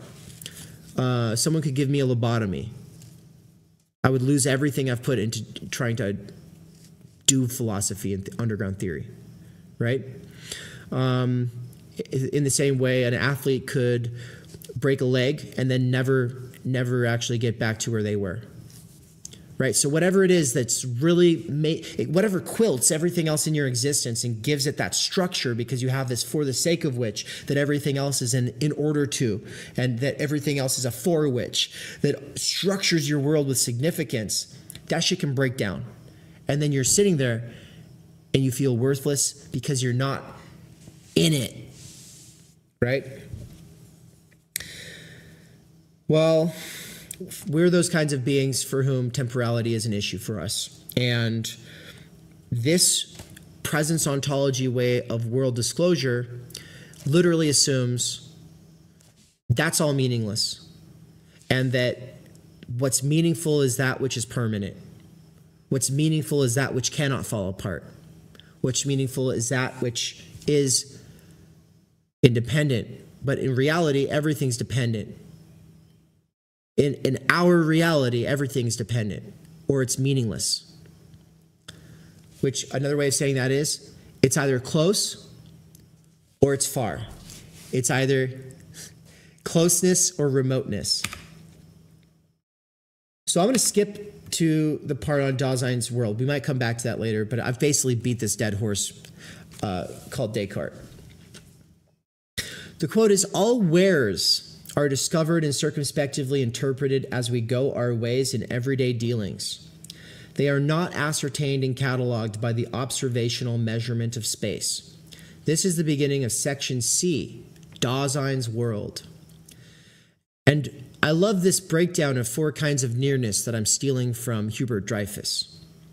I was able to give page numbers for the first two and not the second two, but they're there. Oh, the third, the fourth one's there as well. I'm just missing the one for number three. But basically, there's four kinds of ways that things can be near to us that Heidegger uses to talk about this.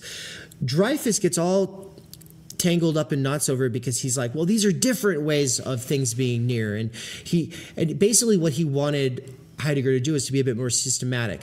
But the fact is, is I think Heidegger's just using these as four different ways that things can be near to us show, so as to show that we are fundamentally beings for whom spatiality is meaningful and and not something based on measurements right? So the first one is accessibility availability. Let's look at page 135 for that it's the kind of the middle. I'm just going to read a couple parts. To what extent has our characterization, characterization of the ready to hand already come up against its spatiality? We have been talking about what is proximally ready to hand, meaning closest. This means not only those entities which we encounter first before any others, but also those which are close by. What is ready to hand in our everyday dealings has the character of closeness. To be exact, this closeness of equipment has already been intimated in the term readiness to hand, right? Because obviously it wouldn't be ready to hand if it wasn't close, which expresses the being of equipment. The satellite that we are using to communicate right now is ready to hand. None of you were thinking about it until I said that, probably. You probably weren't thinking about that, right? But it's there, it is ready to hand. We could even try to ascertain its actual location outside of our planet. We really could, like, we could observe it through a telescope. We could make it present at hand. I mean, if it broke down, somebody would have to go make it present at hand if they meant to fix it, right? Um, so, any kind of troubleshooting of like buffering and lag and, and internet speeds kind of comes down to a present hand thing. Is it a problem with my computer? Is it a problem with the, the, the subscription plan that we're on? Is it a problem with the satellite?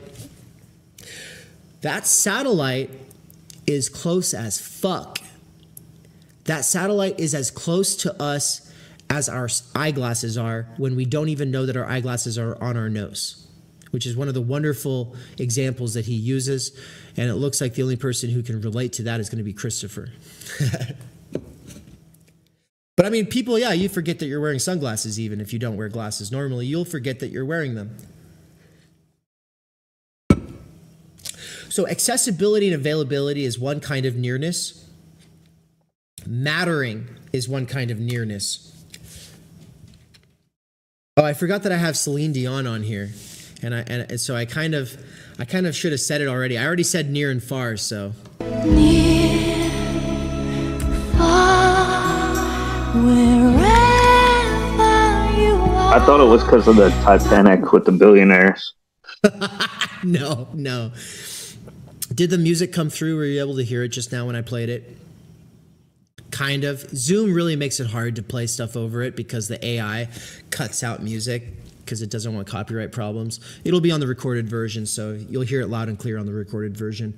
But um, mattering nearness is what Celine Dion is actually singing about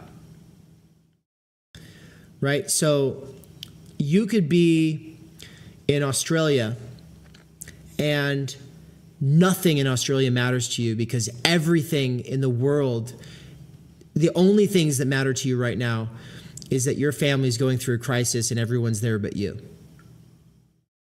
Right? Existentially, that's the closest thing to you. And you're go- it's going to change your behavior. Your behaviorism is nothing if it can't take this into account. Right? We are thought of as beings who are empirically ascertainable. Uh, we can be made to drool at the dinging of a bell just like a dog. But I don't know. When the dog is like completely uninterested in playing and it doesn't want to do any of the normal things that it wants to do and it's sitting there completely lost in thought is it lost in thought? I don't know. I'm projecting. But the reason I project that onto the dog in this situation is because we could sit there and just be completely spacing out, not able to keep up with work, not able to keep up with friends, not able to keep up with anything because our heart is somewhere else. And that changes our behavior because we're going to do something different now.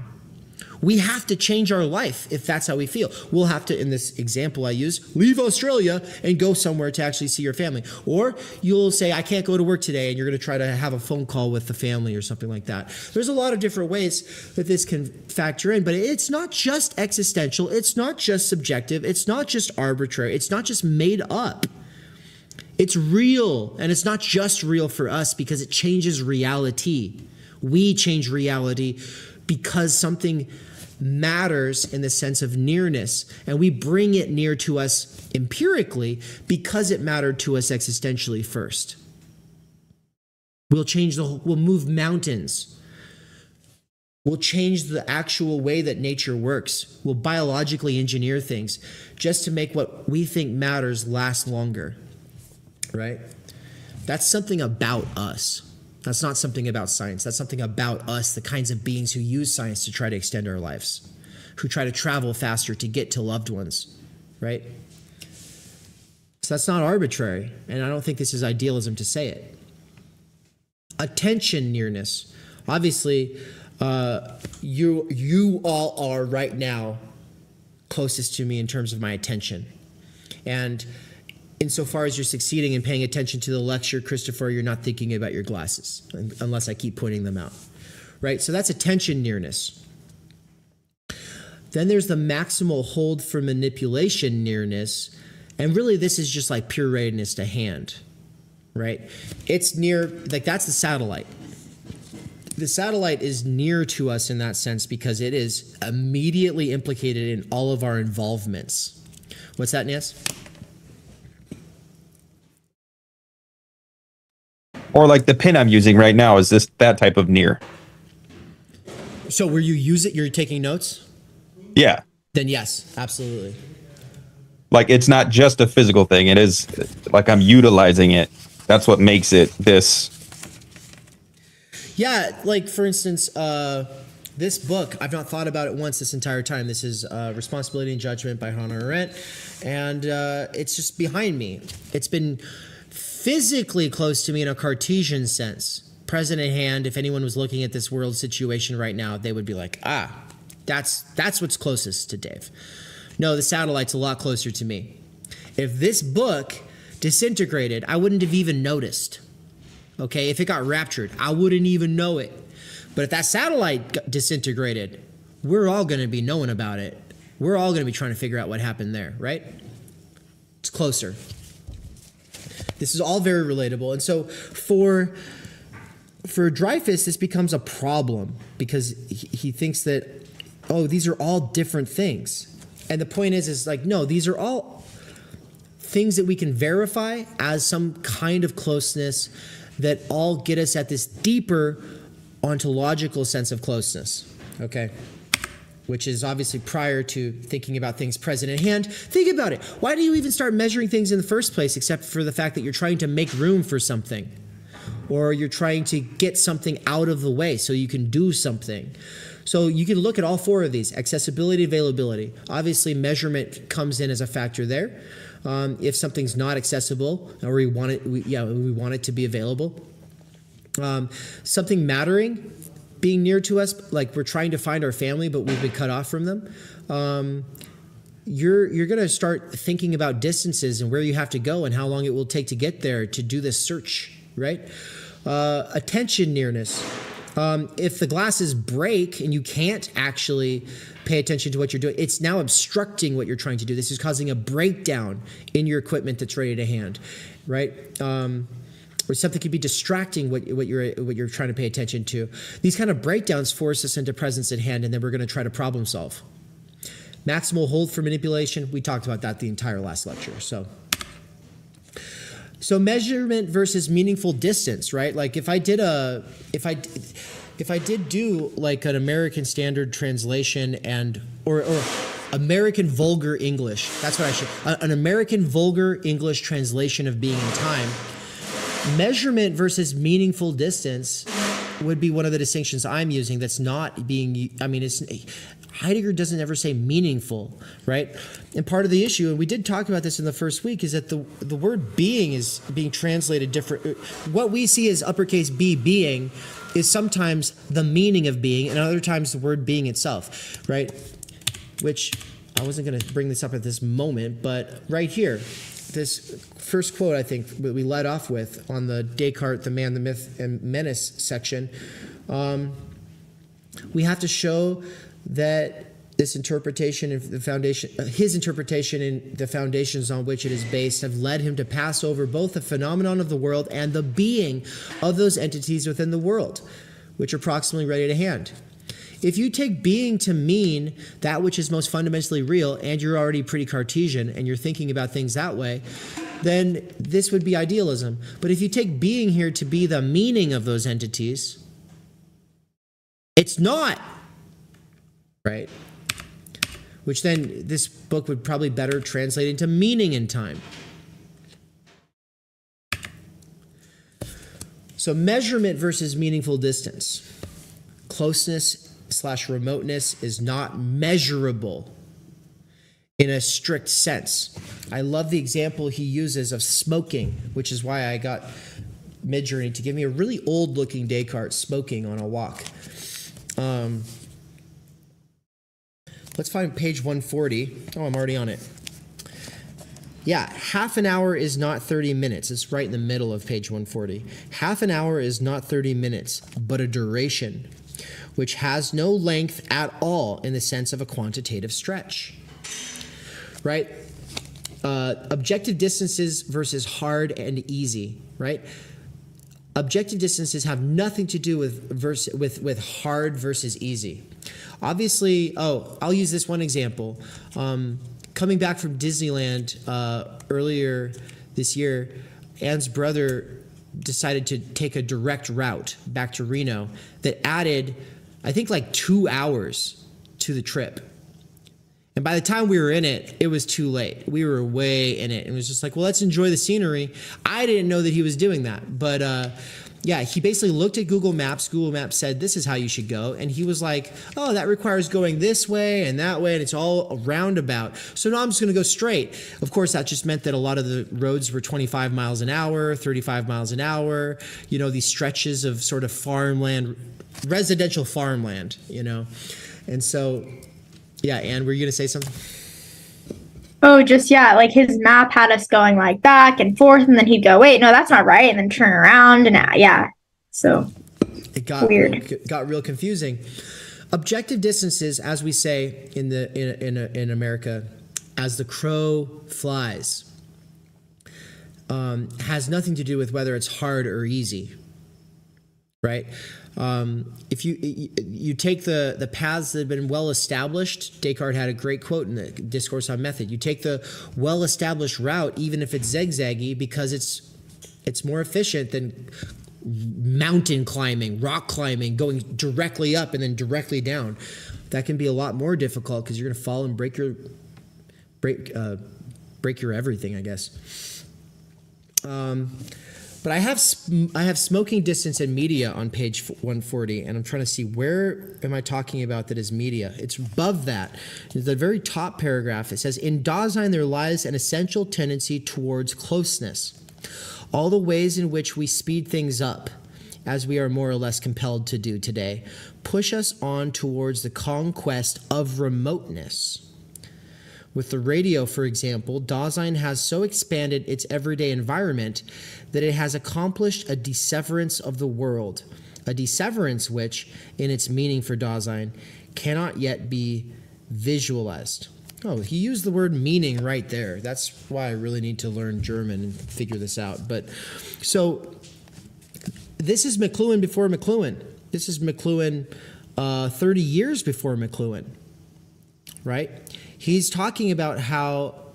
So McLuhan will show us that the medium, what it mediates is perception. It's like uh, electric technology, especially, is an extension of the central nervous system. Right now, we're all out in space, in a sense, because of that satellite that we're using, right? Or the satellites that we're using, right? This being extended and then also having, like, for instance, the cameras and Zoom mediate for our consciousness those things which are not present, making them present. It's not just re-presenting it's actually uh, making us more conscious of something that's remote than something that was close. Right? It's a conquest of remoteness. Being able to get anywhere and everywhere or communicate at the speed of light is what he's talking about right here. And it's what McLuhan spent his whole life thinking about. And so McLuhan and Heidegger go really, really well together, especially in this chapter. Circumspective spatiality, page 137. Do we really want to read that? Do we have to? There's a big fucking quote there. You know what I'm going to have you do? Um, uh, Nance, you haven't read yet. I'm wondering if you can read the giant, the main paragraph from page 137 um, while I run to the bathroom. I'll be right back. Regions are not first formed by things which are present at hand together. They always are ready to hand already in individual places. Places themselves either get allotted to the ready to hand in the circumspection of concern, or we come across them. Thus, anything constantly ready to hand of which circumspective being in the world takes account beforehand has its place. The where of its readiness to hand is put to account as a matter for concern and oriented toward the rest of what is ready to hand. Thus, the sun, whose light and warmth are in everyday use, has its own places sunrise, midday, sunset, midnight. These are discovered in circumspection and treated distinctively in terms of changes in the usability of what the sun bestows.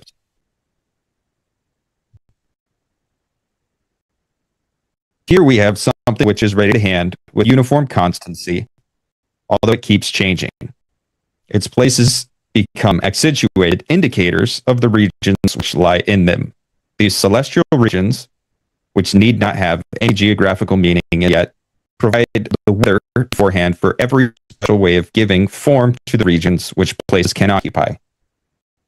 The house has its sunny side and its shady side way it is divided up into rooms is oriented toward these, and so is the arrangement within them according to their character as equipment.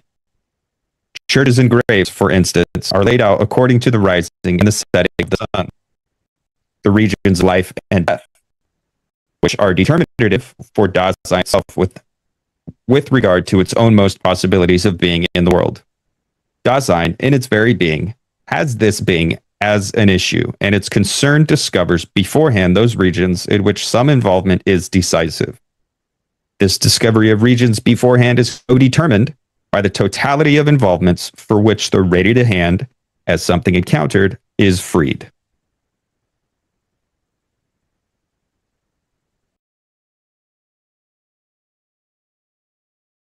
Yeah, any any sort of comments on this? Sadly, the headphones didn't quite reach that far.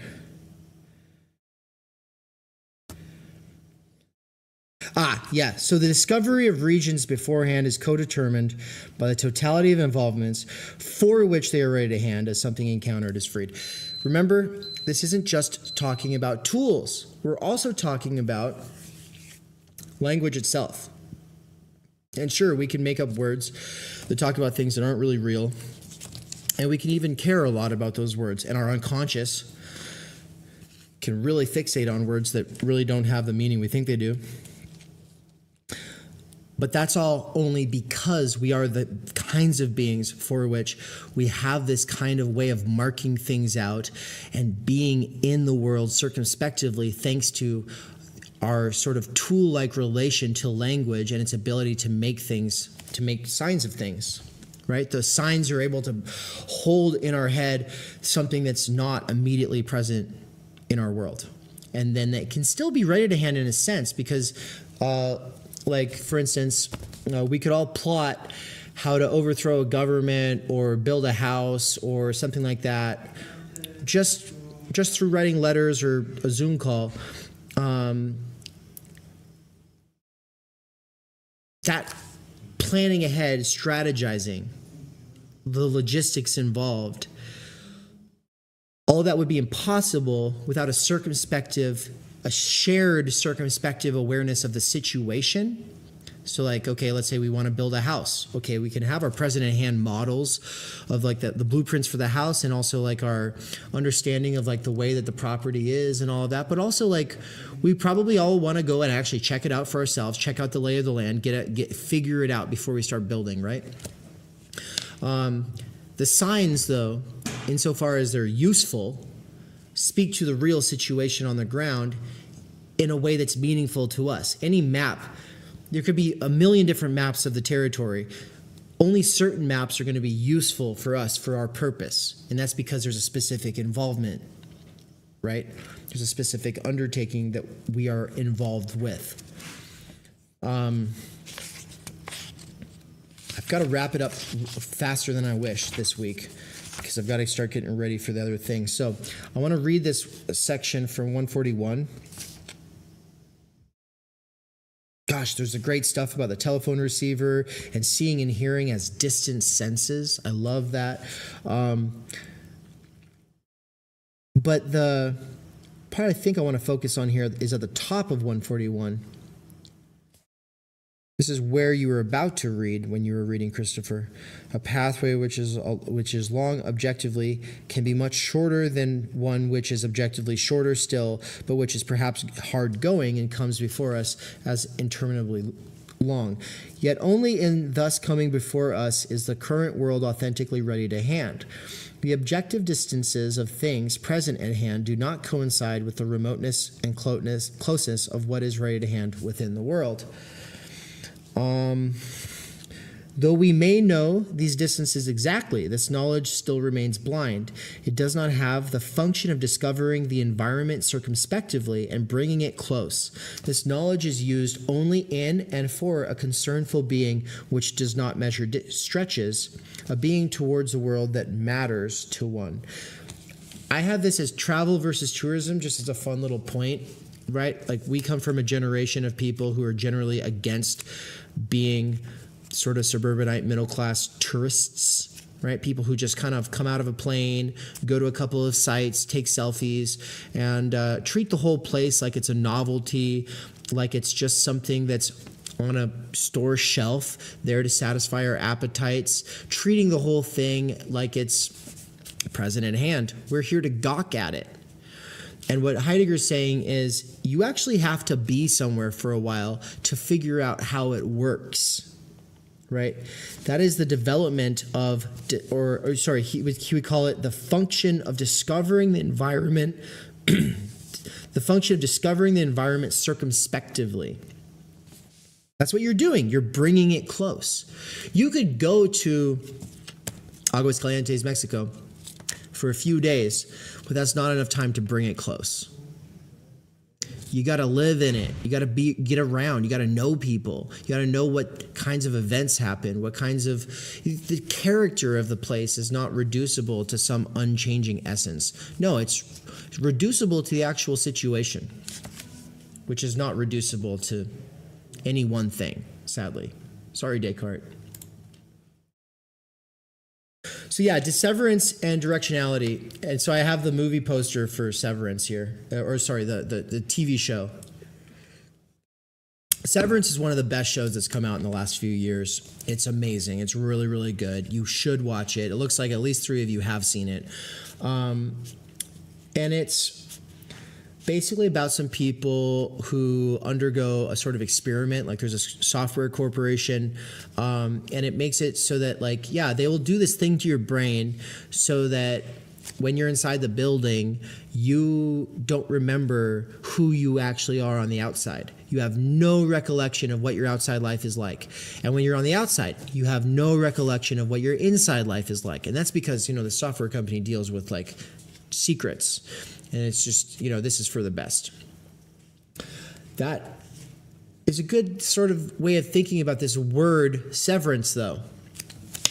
We are always severed from everything except for those things that are close, closest to us. So we are the kinds of beings who are always immersed in the world, always already immersed in language, already always already immersed in ready to hand circumspective dealings. Sure. But we are also the kinds of being for which we are always severed from all of those things that we're not involved with, not focused on, not thinking about. Now, of course,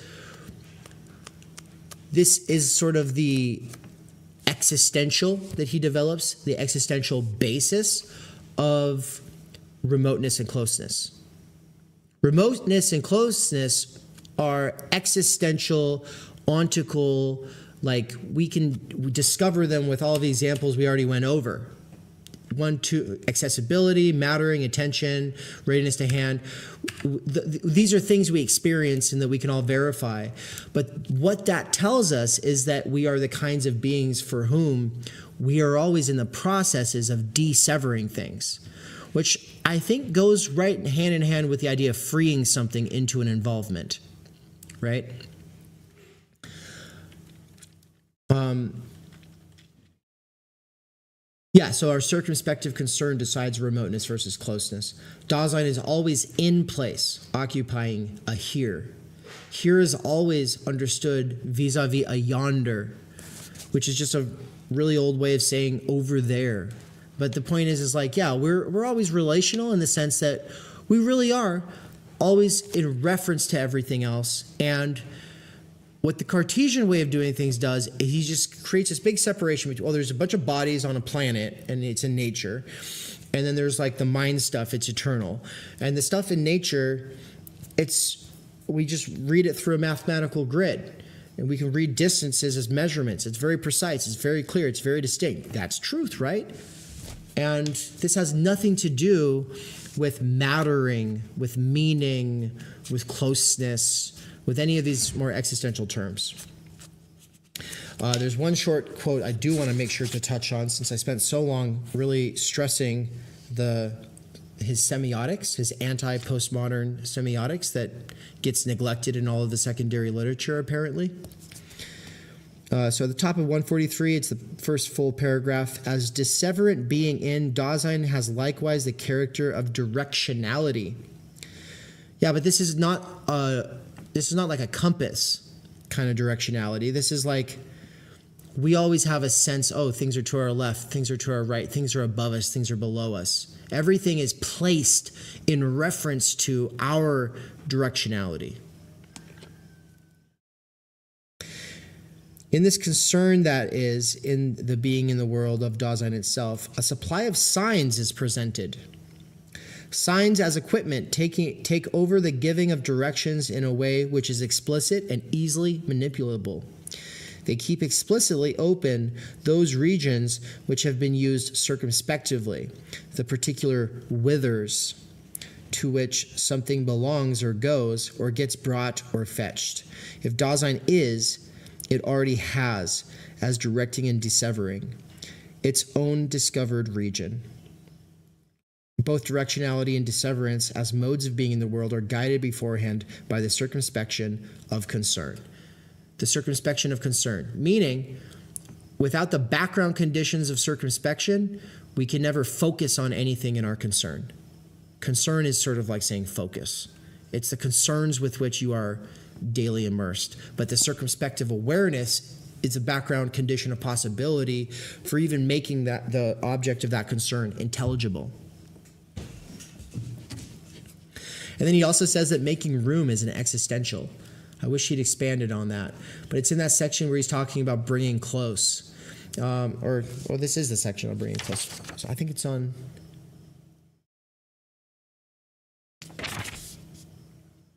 Where is the making room? I thought it was right there. Oh, it's on page 146. Second, which is the full, the first full paragraph on page 146. Um, yeah, he says Dasein can move things around or out of the way or make room for them only because making room, understood as an existential, belongs to its being in the world. Right? It's because nothing arbitrarily sits in anything else. Right? Instead, things are involved. So the question of is this idealism or subjectivism? I think that I've basically touched on this already. Um, but there, here's a good quote for really thinking about it. The homogeneous space of nature shows itself when the entities we encounter are discovered in such a way that the worldly character of the ready to hand gets specifically deprived of its worldhood. The homogeneous space of nature is this Cartesian way of thinking about things, where it's all just arbitrary. You you just pick points and measure between those points, but there's no like fundamental points. There's no real there's no signifiers that have any kind of a primordial basis in our involvements because we've stripped ourselves out of the picture and now we just think about it as a bunch of rocks and trees and animals. Um, but this deprives it of its worldhood and of its fundamental, meaningful relation to us. So, is this idealism, meaning that matter is less important, it's all in our heads? Is this subjectivism, meaning that it's saying that that's which, that which is subjective is more meaningful or more real than that which is objective? Or, you know, there's a lot of ways of talking about this, and I don't really have the time to go into it. And I just kind of want to say it doesn't matter to for our purposes. We should kind of keep question marks over such things. Um, Richard Capo, Richard Capobianco has spent his whole life, basically his academic career, arguing that it's not idealism, that Heidegger his, he's a realist. Um, uh, it's not just all in our heads. You can all you can obviously see how a lot of this could be used to argue that it is all just in our heads. Um, but that's exactly what Heidegger's trying to get out of is this argument that that's all in our head. He's trying to say, no, yeah, we can get up in our heads and then uh, it's all just bullshit, but that our ability to get up in our heads and just have a bunch of bullshit ideas is based in a fundamental, involved, worldly way of being that is itself something that we can't reduce to this stuff that's just in our heads, right? The part that's just in our heads, I would argue, is saying that because the sun is eventually going to swallow the earth, or there's going to be a heat death in the universe, entropy will make it so that eventually everything we've done on this earth will be forgotten and there will be no recollection of us ever. You know, um, that's a that's something in our heads. That's something that we do when we get up in our heads, and it's a way of getting up in our heads that cuts us off from the worldhood of the world and the way that we actually are in it most of the time because you get up in your head and you tell yourself, well, everything's meaningless. But guess what happens as soon as you're done with that? You go back to everything being meaningful again. So it's a weird, present at hand ideological interpretation that is founded on our ability to be the kinds of beings who are in an understanding relation to the world in the first place. Right? So it's a it's a it's like it's like the skeptic who's it's like your skepticism actually proves something, doesn't it? It proves that you're skeptical, right? Um, in the same way, our ability to sit here and go, life's meaningless, speaks to the fact that we're the kinds of beings for whom life is not meaningless. And if it was infinite, and if it was eternal, and if it was always repeatable, then Heidegger is going to argue it wouldn't be as meaningful, would it? obviously, it's the facticity of death, of the fact that all of our projects can fall apart at any time. That makes us cherish the moments that we do have, or at least it oughta. Because if we take up a resolute stand toward our death, it can. It can tr- supercharge things with meaning and help us stop living other people's fantasies and actually just live our own our own life, right? That's the idea anyway. And so in the next chapter, we're going to get into the reason why none of this stuff we've been talking about with Dasein really is about an individual, but is actually always about a kind of life that is always immersed in the lives of others, that takes the models of the ways that others do things for the possibilities that one that are that are one's own most possibilities. Um, it's the section where we're going to get into the they. We're going to talk about das Man, which is the same thing as the they. Two ways of translating the same phenomenon. Um, and so yeah, it's. I, I, think it is something really to look forward to. And if I were you, I would try to give it a, a real, um, a real go tomorrow, or as soon as this is over. You know, go try to read a few pages because there are sections that are just like, oh, they're so good, and almost everything in One Dimensional Man can be derived from the next chapter. So like I've told a lot of people who tell me, "Oh, you got to read One Dimensional Man," and I'm like, Marcuse just he's over here like in a playpen playing with some toys that he borrowed from Heidegger and Marx and Freud. And we're not even sure about his usage of these toys. But that synthesis that he tries to do, it's just never as good as actually getting to the primary sources themselves. All three of those thinkers are better on their own. And then if we decide to synthesize them in some way, or you do it for yourself, cool. But uh, first, you got to give the devil his due. And if you want to think about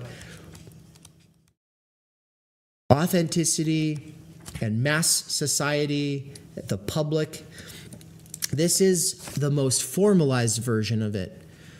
Whereas the first real stab at it was basically Schopenhauer, Nietzsche, and Kierkegaard. Um, and Kierkegaard's uh, little piece on the public is actually perfect for this, and I hope that I'll get to get. Hopefully, I get a chance to with some of you go over that, maybe as an exegetical reading or something. But basically, Kierkegaard thinks about the public. Um, Nietzsche thinks about um, the herd and and the slave morality um, and ressentiment. And Schopenhauer thinks about how he fucking hates everybody and everything. And uh, Heidegger goes, well, what are they all dealing with here? And can we get to like the existential ontological condition of what they're all talking about? And then from that can we derive a possible way forward or out of that that frees us from from this sort of unthinking bullshit that we internalize and go along with all the time. Um, and that's what we're going to be getting into. And I just, I really think it's great. But with that, everybody, thank you so much for coming to the lecture. Um, we have to close this thing out early. I sent you all out an email. There is going to be office hours tomorrow. So do do look at that email, and if you have time, come to the office hours. Bring questions about today's reading uh, or lecture. We'll talk about them then, and then after the office hours, Nance and and are going to give people uh, a cool opportunity to do like a smaller breakout session discussion groups thinking about media usage and stuff like that. It's just something that you don't have to necessarily participate in. They'll be reflecting other people will be. You can just be present or you can actually engage. Um, and then uh, after that uh, same event same zoom call going to be a special conversation with myself and Michael Downs of The Dangerous Maybe, and we will be going over Andre Gorz's Paths to Paradise liber- on liberation from work. And he's basically a, a, a an unorthodox kind of Marxist who uh, has been very um, uh, ignored you won't find any videos on YouTube about him until uh, the one that we're going to put up. So if you want to be present for that and be able to engage in the Q and A or just catch it live before it ever goes public, uh, definitely come tomorrow. And with that, thank you everybody so much. Take care.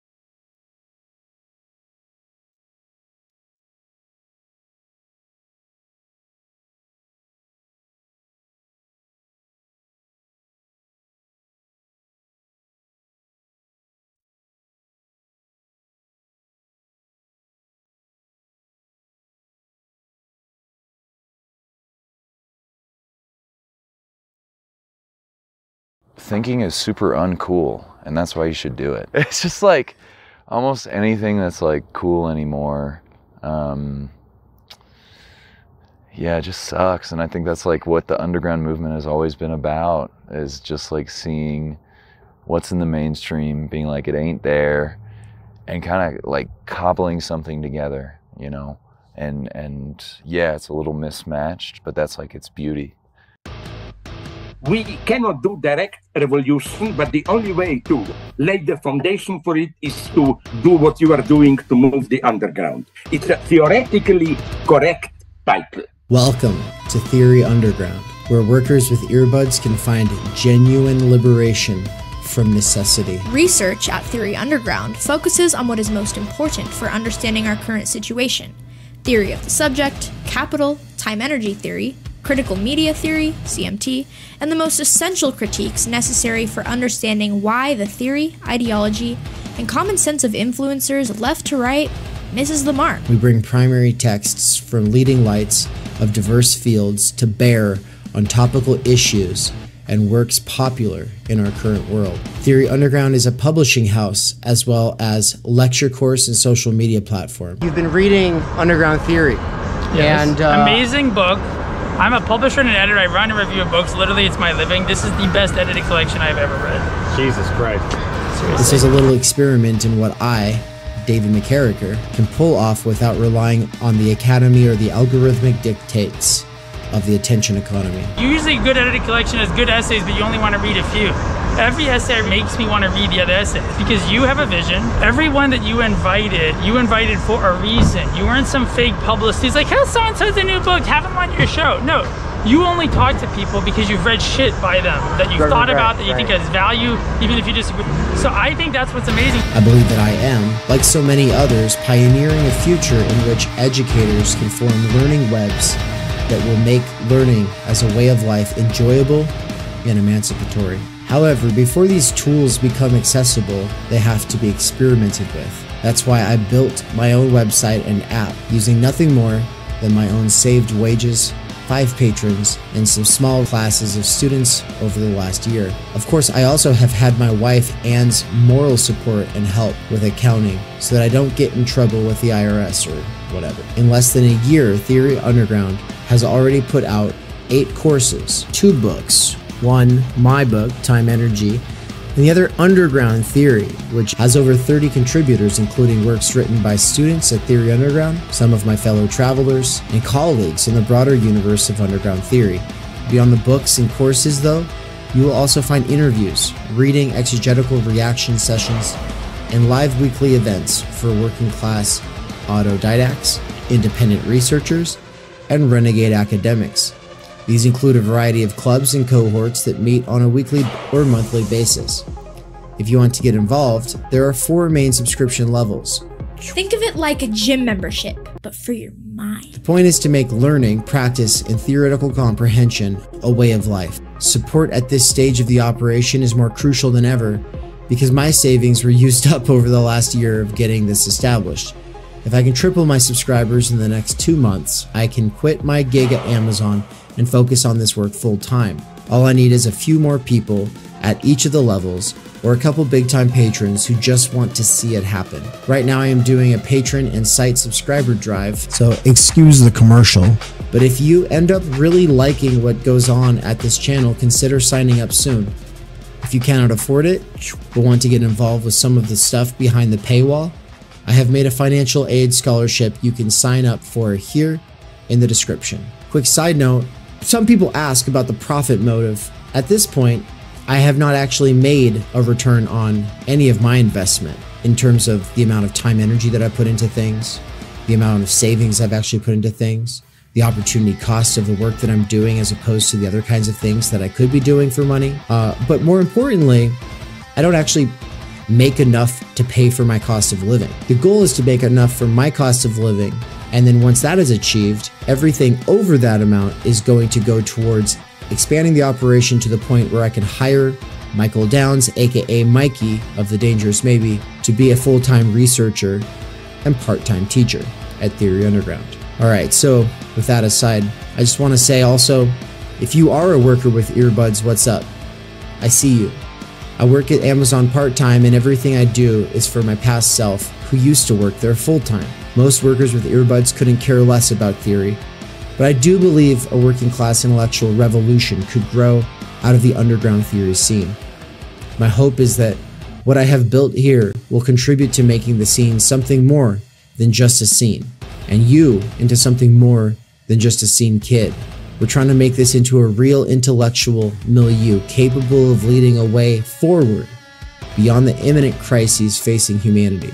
But for that, we need thinking now more than ever. Start thinking. I hope that you either will or have enjoyed the program. And also make sure to like, comment, subscribe, and leave this playing in the background all the time while you're doing other things. Playing long form Theory Underground content in the background while you do things has, in the near future, been scientifically proven to emancipate minds from the functional illiteracy imposed on workers by the structural stultification of time energy. This is achieved by reterritorializing circumspective concern. Also, to some degree, it is for the algorithm. Think of it a but for your mind! I love you so much. I love you too.